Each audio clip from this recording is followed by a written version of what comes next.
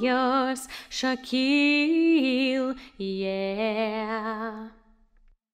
One happy birthday dot com.